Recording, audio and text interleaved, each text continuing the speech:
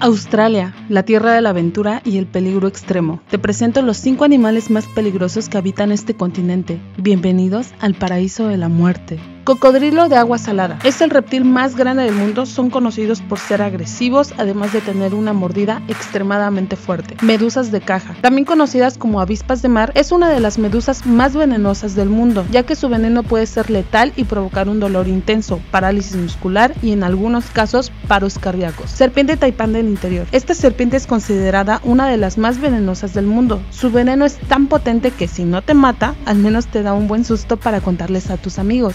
Araña embudo australiana. Es conocida por su mordedura venenosa. Su veneno puede ser mortal para los humanos y puede provocar síntomas graves como dolor intenso, sudoración, náuseas y dificultad para respirar.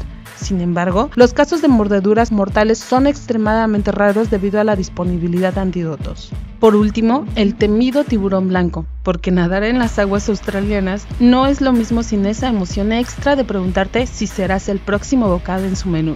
Prepara tus maletas para tu próxima visita a Australia, un paraíso donde puedes disfrutar de la belleza de la naturaleza y al mismo tiempo enfrentarte a la posibilidad de una muerte espantosa. ¡Felices vacaciones!